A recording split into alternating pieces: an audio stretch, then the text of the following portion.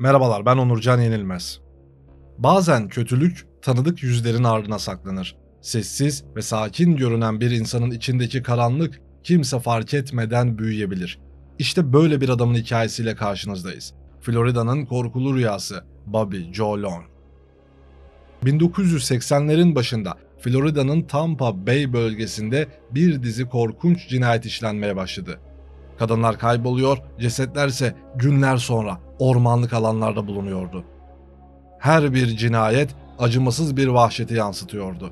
Polisler bu korkunç katilin izini sürerken kamuoyunda büyük bir panik ve korku dalgası yayılıyordu. Robert Joseph Long 14 Ekim 1953'te Kenova, Batı Virginia'da doğdu. Daha çocukken annesi Luella ile birlikte Miami'ye taşındı. Babası ve annesi çocukları küçükken ayrılmışlardı. Long'un kadınlara karşı nefret dolu duyguları 13 yaşına kadar aynı yatağı paylaştığı annesiyle başladı. Luella bir kokteyl servisi yapan garsondu. Açık kıyafetler giyerdi ve sık sık eve erkek getirirdi. Long henüz 5 yaşındayken bir salıncaktan düşmüştü. Birkaç defa daha yaşayacağı kafa yaralanmasının ilkini geçirmişti.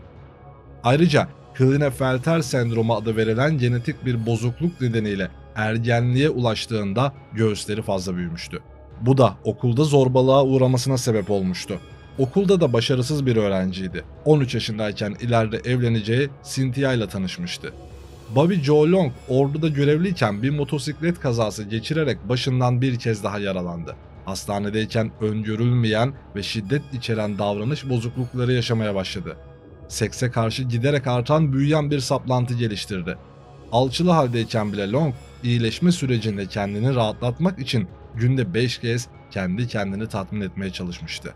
Hastane sürecinde sevgilisi Cynthia da kendisine destek olmaya çalışıyordu. Sonunda 1974'te lisedeki kız arkadaşı Cynthia Bartlett'la evlenmeye karar verdiler. Bu evlilik Long için umut gibi görünüyordu. Birlikte iki çocukları oldu. Yine de şiddet patlamaları dinmedi. Bir keresinde Cynthia'yı boğarak bayıltıp ve kafasını da bir televizyona çarpmıştı. Karısına göre Bobby zaten sinirli bir insandı. Ama motosiklet kazasından sonra sinirinin üzerine bir de şiddet eklenmişti. Bu da haliyle evliliği çok daha zorlayıcı bir hale getirmişti. Bobby eşine saldırdıktan sonra sanki pişmanmış gibi davranıyordu. Hastaneye gittiklerinde ise tam tersi şekilde davranıp kendisine eğer şikayet ederse onu öldüreceğini söylüyordu. Bu kadar şiddete dayanamayan Cynthia 1980 yılında çocukları da yanına alarak evi terk etti. Bobby Joe da Sharon Richards adlı bir kadın arkadaşının yanına taşındı. Zaman sonra Sharon onu kendisine uyguladığı şiddetten dolayı şikayet edecekti.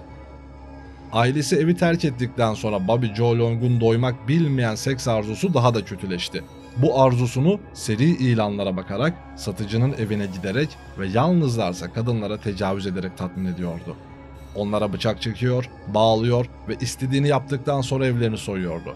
Long 1981 ve 1984 yılları arasında bu yöntemi kullanarak düzinelerce tecavüz gerçekleştirdi.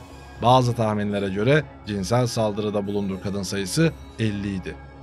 Bobby Joe Long 1981 yılında tecavüze suçlandı, yargılandı ve mahkum edildi. Ancak mahkumiyet kararını temize götürerek beraat etti. Artık çok kötü bir yoldaydı. Freni patlamış bir kamyon gibi yokuş aşağı gidiyordu. 1983 yılında 12 yaşındaki Floridalı bir kız çocuğuna uygunsuz mektup ve fotoğraflar göndermekle suçlandı. Kısa süreli bir hapis cezası aldı ve şartlı tahliyeyle serbest kaldı. Long 1984'te Miami'den Tampa'ya taşındı. 1978 model bordo renkli Dodge Magnum'uyla Tampa'da birçok kulüp ve barın olduğu ve seks işçilerinin uğrak yeri olan Nebraska Caddesi'nde bir aşağı bir yukarı dolaşıyordu. Kadınları arabasına bindiriyor, onlara cinsel saldırıda bulunuyor, sonra da kırsal ve ıssız bir yere götürüp orada öldürüyordu. Kurbanlarının çoğu boğularak öldürüldü. Tabi her zaman böyle yapmıyordu. Bazen boğazını kesiyor, bazen de silahla vuruyordu. Cansız bedenleri ıssız yerlerde bırakırken bir şekil verip öyle kaçıyordu. Bobby Joe Long'un ilk kurbanı 27 Mart 1984 tarihinde kaçırdığı, cinsel saldırıda bulunduğu ve boğarak öldürdüğü 20 yaşındaki Artis Vic'ti. Cesedi 1984'te bulunan Artis Vic'in cesedinin bulunmasındaki gecikme nedeniyle Bobby Joe Long'un ilk kurbanı olarak kabul edilmemektedir. Ama ilk olarak cinayet çılgınlığına Vick'le başlamıştı. Mayıs 1984'te Bobby, Tampa'daki Nebraska Caddesi'nde araba kullanırken Lana Long adında genç bir kadının yürüdüğünü gördü. Long, Lana'nın yanına yanaştı ve ona kendisini bırakmayı teklif etti. Lana da masumane bir şekilde teklifi kabul etti. Ancak Long kısa süre sonra arabayı yoldan uzağa sürmeye başladı. Bir bıçak çıkardı. Bıçağı gören Lana korkuyla çığlık atmaya ve Long'a dövüşmeye çalışınca adam onu bağladı ve daha uzak bir yere götürerek orada cinsel saldırıda bulundu. İşini bitirdikten sonra da boğarak öldürdü. 13 Mayıs'ta Nebraska'da dansçı olarak çalışan 19 yaşındaki Lana Long'un cesedi bir tarlada bulundu. Çıplaktı ve boynuna bir ip bağlanmıştı. Vücudunun altında düğümlenmiş beyaz bir eşarp vardı. İki hafta sonra 22 yaşındaki eski güzellik yarışmacısı Michelle Sims'in cesedi Interstate 4'ün üst geçidinde bulundu. Michelle resepsiyon olarak çalışan bir uyuşturucu bağımlısıydı. Ayrıca seks işçiliği de yapıyordu. Seks işçisi olarak çalışan Michelle Sims de yolda bu adamın arabasına binme hatasında bulunmuştu. Long onu arabasına aldıktan sonra dövmüş, cinsel saldırıda bulunmuş ve boğazını kesmişti. Dedektifler Sims'in cinayetiyle Lana Long'un cinayeti arasında bir bağlantı kurdular. Çünkü her iki kadının üzerinde de aynı kırmızı naylon elyaf bulundu. 24 Haziran 1984'te 22 yaşındaki Elizabeth London Beck'in cesedi bir portakal bahçesinde tamamen giyinik halde bulundu. Tecavüze uğramış ve boğularak öldürülmüştü. Loudon Beck sıradan bir fabrika işçisiydi.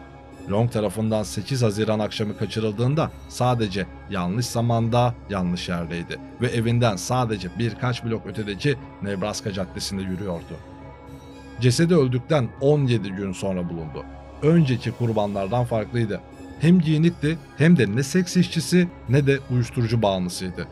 Adli tıp analizleri bu cinayetlerin birbiriyle bağlantılı olduğunu doğruladı. Sims ve Laudenbeck'in giysilerinde ve Lana Long'un altında bulunan beyaz eşarpta muhtemelen bir halıya ait küçük kırmızı naylon lifler vardı. Long'un 5. kurbanı 7 Eylül 1984'te Ramada Inn'de garsonluk yaptıktan sonra evine dönerken kaybolan 21 yaşındaki Vicky Elliott'tı. Elliott'ın cesedi 16 Kasım 1984'e kadar bulunamadı. Boğularak öldürülmüştü. Bir sonraki kurban Chanel Williams seks işçisiydi. Longo'nun arabasına aldığında Tampa'daki bir caddede yürüyordu. Williams'a saldırdıktan sonra silahını çekti ve onu boynundan vurdu. 7 Ekim'de 18 yaşındaki Chanel Williams'ın cesedi bulundu. Profili önceki kurbanlarınkinden farklıydı. Tek siyah kurbandı, bağlanmamıştı ve ateşli silahla ölmüştü. Çıplaktı ve kıyafetleri yanında duruyordu. Yine de Williams'ın giysileri üzerinde yapılan adli tıp testleri o küçük kırmızı elyafların varlığını ortaya çıkardı. Bir hafta sonra 28 yaşındaki Karen Dinsfriend'in cesedi bir portakal bahçesinde bulundu. Boğularak ve sopayla dövülerek öldürülmüştü. Dinsfriend aynı zamanda Nebraska Caddesi'nde seks işçisi olarak çalışıyordu. Boynunda bağ izleri vardı ve o da bağlanmıştı. Bu cinayeti 22 yaşındaki Kimberly Hobbs izledi. Cesedi 31 Ekim 1984'te bulunmuştu. Çıplaktı. Ancak hava koşullarına maruz kalması cesedin kimliğini tespit etmeyi imkansız hale getirmişti. Olay yerinde adli tıp kanıt toplamak için çok fazla zaman geçmişti. 3 Kasım 1984'te 17 yaşındaki Liza McVeigh, Krispy Kreme'deki işinden gece saat 2 sularında bisikletiyle eve dönüyordu. Bir adam ona doğru koştu ve bisikletinden aşağı itti. Haliyle genç kız yere düşmüştü. Daha sonra da zorla arabasına sürükledi. Gözlerini bağlayıp evine götürdü ve 26 saat boyunca defalarca cinsel saldırıda bulundu. İlginç bir tesadüfle McVeigh bu saldırıdan sadece saatler önce ciddi ciddi intihar etmeyi düşünmüştü. Büyük annesinin erkek arkadaşının yıllarca süren duygusal ve cinsel istismarı nedeniyle bir intihar notu bile hazırlamıştı. Başına bir anda öyle bir şey geldi ki ölmeyi istemek yerine hayatı için savaşmaya başlamıştı. Bobby Joe Long, McVeigh'i öldürmek yerine kendi cinsel kölesi gibi yapmıştı. Lisa McVeigh'de uğradığı kötülüklerden kurtulmak için adamla bağ kurmaya çalıştı. Bobby Joe Long'un banyosunda saçlarını yıkayıp taradığı bir anında McVeigh bunu kendisine neden yaptığını sormuştu. Bobby'nin cevabı basitti. Kadınlardan nefret ettiği için yapıyordu. McVeigh akıllıca davranarak kadınlarla olan sorunlarını dinlemeye ve ona sempati göstermeye devam etti. Hatta McVeigh'e kız arkadaşı olmayı bile teklif etti. McVeigh bunu kabul edemeyeceğini ve hasta babasına bakması gerektiğine dair bir hikaye uydurdu. Seri katil Bobby Joe Long'la bu bağlantı kurma çabaları sonunda hayatını kurtardı. Lisa McVeigh zaten buna benzer saldırılara hayatında da uğradığı için nasıl yaklaşacağını biliyordu. Bu adamın egosunu oynuyordu. Eğer hasta babası olmasaydı kendisiyle arkadaşlık kurabileceğini söylemişti. Hatta hasta babasına bakması için kendisini serbest bırakmasının onurlu bir davranış olacağına Bobby'yi neredeyse ikna etmişti bile. Daha sonra gözleri hala bağlı olan McVeigh, Long'un dairesindeki banyoyu kullandı ve parmak izlerini bırakmak için dokunabildiği her şey dokundu. Long 4 Kasım'ın erken saatlerinde gözleri hala bağlı olan McVeigh'i arabasına geri bindirdi. McVeigh evindeki basamakları saydı ve kırmızı halısını kafasına not etti. Önce kısa bir mesafe kat ederek bir bankamatiğe gittiler. McVeigh makinenin sesini duyduğunu söyledi. Gözleri bağlıyken arabanın gösterge panelindeki 1978 model Dodge arabasına özgü Magnum kelimesini bir anlığına görmüştü. Long arabayı biraz daha sürdükten sonra kenara çekmiş ve McVeigh'e arabadan inmesini ve 5 dakika sonra gözlerini açmasını söylemişti. Long da bu sırada arabasıyla buradan uzaklaşmıştı. Lisa McVeigh gözlerini açtıktan sonra soluğu polis merkezinde aldı. Onlara gördüğü ve yaşadığı her şeyi tek tek dikkatlice anlattı. Arabanın rengini, gösterge panelindeki Magnum kelimesini, Long'un evindeki kırmızı halıyı. Kendisini kaçıran kişinin serbest bırakılmadan hemen önce bir bankamatik kullandığını anlattı. McVeigh'in giysileri üzerinde yapılan adli testler, diğer kurbanların üzerinde bulunan kırmızı halı liflerinin aynısının varlığını ortaya çıkardı. Lisa McVeigh'in serbest bırakılmasının ardından iki kurbanın daha kalıntıları bulundu. 6 Kasım'da 18 yaşındaki Virginia Johnson ve 12 Kasım'da 21 yaşındaki Kim Swan. Johnson'dan geriye sadece kemikleri kalmıştı. Ancak olay yerinde bir ip bulundu. Aynı zamanda Sly Fox'ta dansçı olarak çalışan Sven'in boynunda ve bileklerinde bağlama izleri vardı. Her iki olay yerinde de kırmızı halı lifleri bulundu. Polis Hillsborough County'deki tüm 1978 Dodge Magnum sahiplerinin bir listesini çıkardı. Kuzey Tampa'daki tüm bankamatiklerin kayıtlarını mahkeme kararıyla elde etti. Listeleri karşılaştırdıklarında 1978 model Dodge Magnum sahiplerinden yalnızca birinin 4 Kasım sabahı saat 3'te bir bankamatik kullandığını tespit ettiler. Adamın adı Bobby Joe Long'tu. Yetkililer hızla hareket ederek Long'un arabasını ve evini kullandığı bankamatiğin çok yakınında buldular. Adamı 24 saat boyunca izlediler. Ardından da 16 Kasım'da McVeigh'i kaçırma ve tecavüz suçlarından tutukladılar. Sorgusu sırasında Long ilk olarak McVeigh'e karşı işlediği suçları itiraf etti. Başlangıçta diğer cinayetleri karıştığını reddetti. Ancak polisin elindeki kanıtları özellikle de arabasındaki kırmızı halı liflerini duyunca onlara da itiraf etti. Sorgusunun sonunda dedektifler Long'u 10 cinayetten ve McVeigh'in kaçırılmasından sorumlu tutarak mahkemeye sevk ettiler. Bobby Joe Long'un 10 cinayetin 8'inden suçlu bulunduğuna dair bir itiraf pazarlığı yapıldı. Bobby, Vic ve Elliot'ı öldürdüğünü kabul etti. Ancak cesetleri tutuklanmasından sonra bulundu. Daha sonra cinayet, cinsel saldırı, adam kaçırma ve ilan tecavüzcüsü olarak işlediği suçlarla dahil olmak üzere 28 kez müebbet hapis cezasına çarptırıldı. Bobby Joe Long sadece Michelle Sims cinayetinden idama mahkum edildi. İdam edilmesi yıllar sürecekti. 23 Mayıs 2019 tarihinde zehirli iğneyle idam edildi. Long o zamana kadar idam hücresinde en uzun süre kalan mahkumlardan biriydi. Lisa McVeigh Noland, Long'un infazını ön sıradan izledi.